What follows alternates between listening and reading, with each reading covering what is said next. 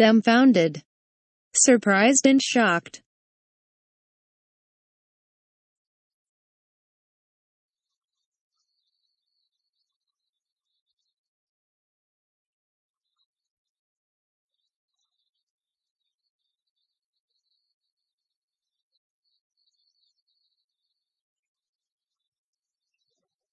Opie and Anp were dumbfounded by the Colonel's sign language and Indian speech.